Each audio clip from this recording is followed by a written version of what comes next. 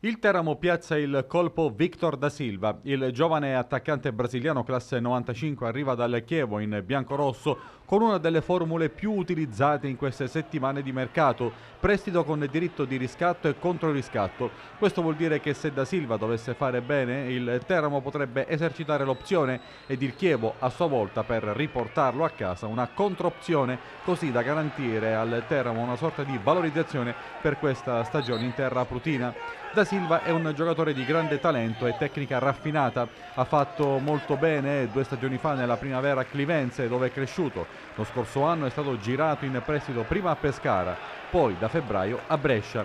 In riva l'Adriatico sembrava potesse esplodere dopo la doppietta di Vercelli, ma ha continuato ad avere poco spazio, tanto da chiedere di andare via nel corso della finestra invernale di mercato.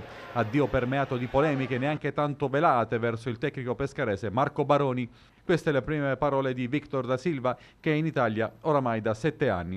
Le lezioni sono state ottime fin dal primo giorno, ho trovato dei ragazzi bravissimi, lo staff pure, e quindi mi sono subito integrato bene insieme agli altri e speriamo di iniziare bene, far bene questo ritiro e poi, poi iniziare il campionato e far bene per tutta la stagione. Sono rapido, veloce, brevilineo, mi piace attaccare lo spazio e far gol ovviamente. Dico sempre prima aiutare la scuola e poi gli obiettivi personali arriveranno sicuramente.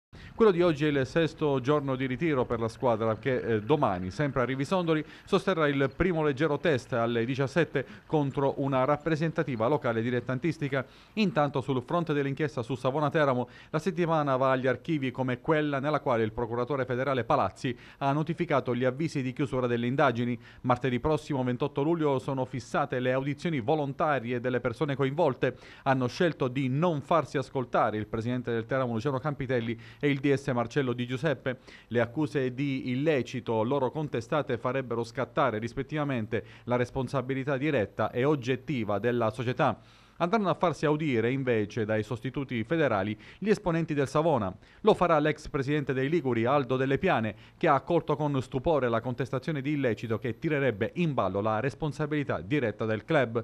Lo faranno anche gli ex consulenti esterni Marco Barghigiani ed Enrico Ceniccola, a quest'ultimo si contesta solo l'omessa denuncia.